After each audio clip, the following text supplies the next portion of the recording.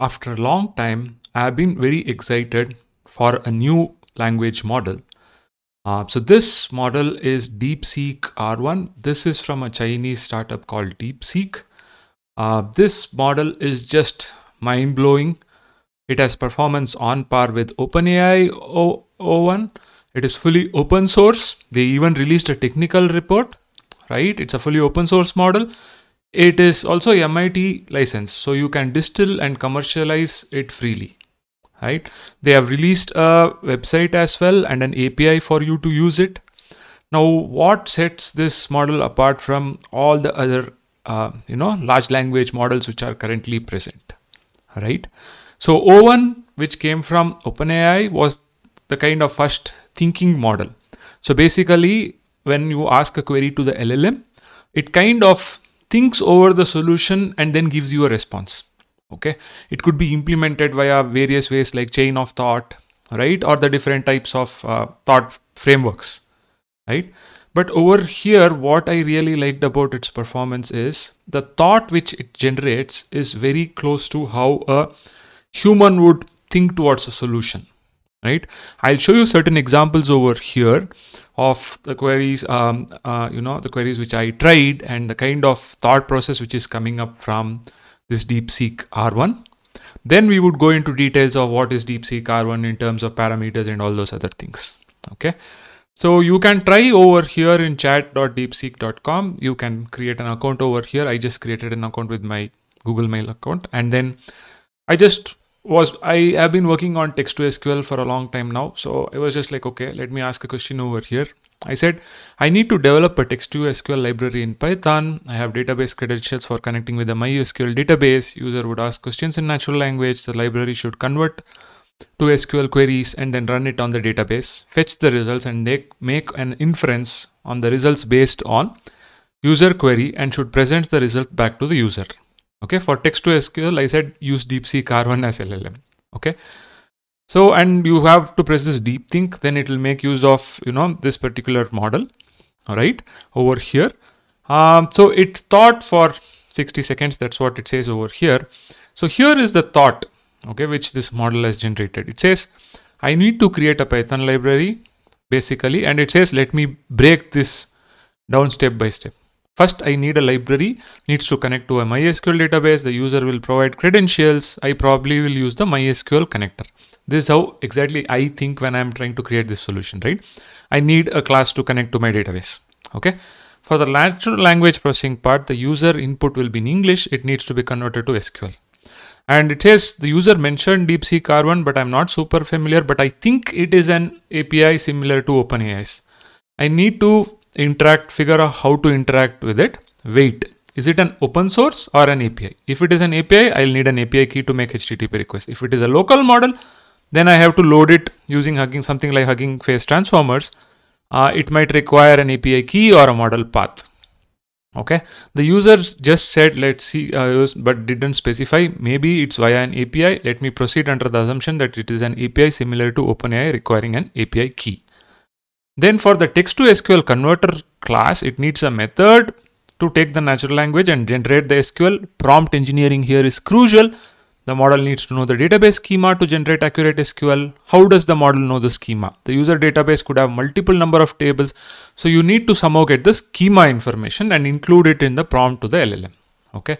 So what I'm amazed is like, you know, the kind of steps which it is putting over here is exactly what I thought when I was developing this solution okay? The steps look very close to how a human thinks uh, over you know um, uh, you know the thoughts are quite close to what a human is thinking right? And then it goes about telling about you know i can use sql queries like this i can do a lot of things right? Um, you know it kind of takes into account the various possible scenarios over here and a lot of other things.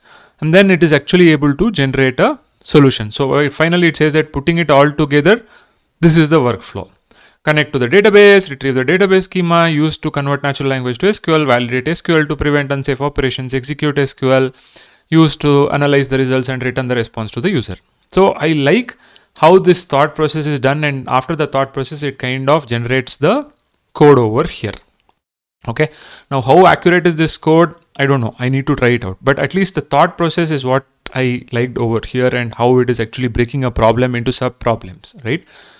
So this is quite, uh, this is not exactly a reasoning problem, right? This is more about I have a, you know, I need to develop a solution, a software solution, and I'm asking it for, you know, software design and then the, um, you know, code, right? What this model excels, they say, is in reasoning problems, right? Um, so they um, they say it exceeds the benchmark of OpenAI O1 on these reasoning benchmarks. Okay, so I was uh, I could uh, try this, you know, uh, in Hugging Face chat also. A smaller version of this particular model is available on Hugging Face, uh, you know, chat. So there I tried a couple of interesting questions, and uh, you know, uh, I was amazed at the way it thinks about okay so I, I asked a question over here saying that assuming a person has a terminal disease like cancer is it worth contemplating assisted death or is it worth ex trying experimental therapies to prolong life but with severe suffering so this is more of an ethical moral kind of question right so here uh, it did some reasoning and then you know it gave a decision out. So if you look at the reasoning, it says that I am trying to figure out whether a person with a terminal illness like cancer should consider assisted death or try experimental therapies. Okay, first I need to understand what assisted death means. From what I know, it is about you know a person being uh, helped provide medical assistance so that they can die peacefully. On the other hand, experimental therapies are treatments that are not weight accepted or uh, uh, you know regulatory bodies so I wonder how the uh, quality of life will be in both scenarios, and then it tries to give explanations for you know uh, thoughts about you know I need to consider psychological aspects, I need to consider ethical principles. So this is exactly the kind of thought a person will have when they're facing these questions. That is what it looks to me now. It's quite close in terms of you know the thought process of what a human is trying to do, right? Uh, I asked another question about, you know, is the platform X heavily biased and topic? Give me reference for your justification. And how would you verify your decision? So again, it goes about, you know, the thought processes. I'm trying to figure out the, now the user could be biased or, you know, as for toxicity, how do you define toxicity? All those things over here. So go try out this model and uh, you know ask your queries over here and look at the thought process to see you know how close it is to how a human is actually trying to solve the problem right? So it's quite uh, interesting. So you can actually try out DeepSeek R1 on their platform, which is chat.deepseek.com. It's also available as an API on their DeepSeek platform. Okay. If I look at the API cost, it's much more cheaper than OpenAI O1. I'm not exactly sure about the factor. Somewhere I read it as one tenth, right? Um, so you can try out this over here. It's also available in Hugging Face chat, right? Uh, where you can actually uh, look at you know a smaller version, a distilled version of this model. You can try it over here in Hugging Face uh, chat. So here you can create a new chat and you can choose this particular model and you can try it out over there right it's also available on hugging face for you to download and if you have the infrastructure you can run these models right you have these smaller versions also over here um, now just let us quickly look into their technical report to see, you know, uh, how this model was created. So if I understand at a very high level, what they did was that first they created a template and data like this. Okay, I will show you that uh, template. So this was the template for DeepSeek R1-Zero where there is this uh, conversation between user and assistant. The user asks a question, assistant solves it. The assistant first thinks about the reasoning process in the mind and then provides the user with the answer. The reasoning process and answer are enclosed within the think think tags and answer tag answer is within the answer answer tags respectively. Think is for the reasoning process here and answer is answer over here. Uh, the user prompt is given and assistant generates the response. Okay, so that is the uh, template for uh, you know uh, DeepSeek R1-Zero. That is the initial model. Uh, so they use something called as uh, group relative policy optimization. So what they're saying is that we explore the potential of LLM to develop reasoning without any supervised data. Okay, uh, focusing on their self evolution through a pure reinforcement learning process. Okay, that is what they are saying over here. Um, so using that, what they have done is that uh, they do reward modeling the reward is the source of the training signal which decides the optimization direction.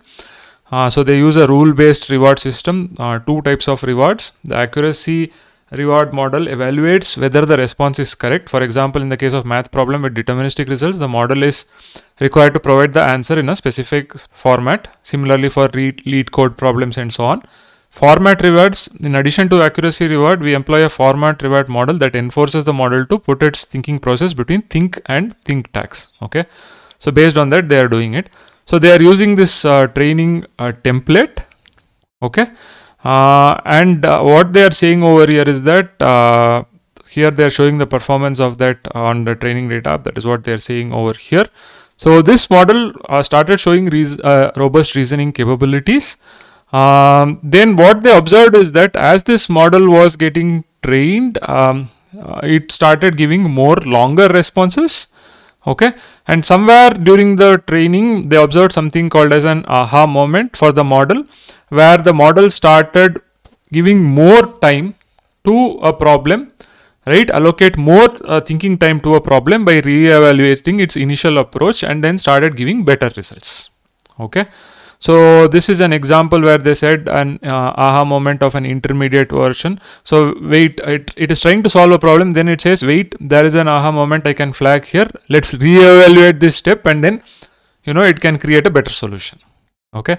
So this is what they said is like uh, aha moment for them also to witness the power and beauty of reinforcement learning. Okay. So with uh, DeepSeek R1-Zero, it exhibited strong reasoning capabilities and autonomously developed expected, uh, unexpected and powerful reasoning behaviors. It still had some issues like poor readability and language mixing. So what they did was they did DeepSeek R1, uh, which was reinforcement learning with cold start. So what they did over here is that they created a lot of uh, initial data which had chain of thought prompting, uh, chain of thoughts, clear chain of thoughts, right? Uh, and few shot prompting examples with a long chain of thought as an example. So they used that uh, kind of data and again did reinforcement learning on, uh, you know, from um, the DeepSeek R1-Zero, they again did uh, data to fine tune, uh, you know, uh, DeepSeek V3 base as a starting point for RL. So that is what they did over here and using this, they got a better version. Okay. Now let's go to the conclusion of the paper. This is very high level. If you require, I can do a detailed uh, explanation of things over here. It will take some time. But if you look at the conclusion, what they are saying is that DeepSeek R1-Zero presents a pure RL approach. DeepSeek R1 is more powerful, leveraging cold start data. And this achieves performance comparable to a OpenAI O1, this thing over here. Uh, so the general capability, what they are saying is that uh, the following directions they want to improve. They want to improve uh, general capability for multi-turn complex role playing and JSON output kind of things in the future with function calling and other things. Language mixing is currently optimized for Chinese and English, which may result in language mixing issues when handling queries in other languages. So they want to improve that. They want to improve. It is currently sensitive to prompts, so they want to, uh, you know, few shot prompting consistently degrade its performance. They want to look at improving that. And uh, due to long evaluation times which impact the efficiency, large scale cannot be deployed extensively in software engineering tasks. So they want to see how they can improve the performance to improve efficiency. Okay. So this is about uh, DeepSeek R1 release, right? Now, if you look at the parameter size of this model, I think it's close to 660, uh, you know, million parameters or billion parameters. That is what it is. I want to see if it is put somewhere over here right? Uh, r1 let's go over here and see the model card. Okay it has 685 billion parameters. Okay? Um, other details would be present over here. So you have smaller uh, so the uh, the bigger model is like 671 billion parameters. So at any time in inference 37 billion parameters are activated. Okay? Um, that is what is present over here. There are smaller distilled models from this right uh, which have been distilled. So these models are smaller parameters model which you can run on your hardware, something like uh, you know this Llama 3.18 billion distilled. Um, so you can try out these models as well. Okay, so this distilled models are fine-tuned based on open source model using samples generated by DeepSeek R1. So they change their config and tokenizers and the thing. So you can try out these models as well. So this was about DeepSeek R1, a very exciting model I haven't been this excited for a language model since a long time. Uh, I, I was thinking that the models are getting kind of saturated and out comes this with you know being a fully open source model and exactly opposite of what OpenAI wanted to when they started and what they are now right so that's why they are putting this thing or saying that pushing you know boundaries of OpenAI and they have 32 and 70 billion models on par with OpenAI O1 Mini. Um, so this should create more uh, opportunities for research and more improvised models coming in the future. So this is an excellent work by DeepSeek uh, to create this model and as well as uh, release it in open source, right? Open model, not exactly open source, but open models. Okay, and uh, you can go and try out uh, their platform as well. I hope this video is useful to you. If you like the video, please like, share, subscribe to the channel. See you in another video.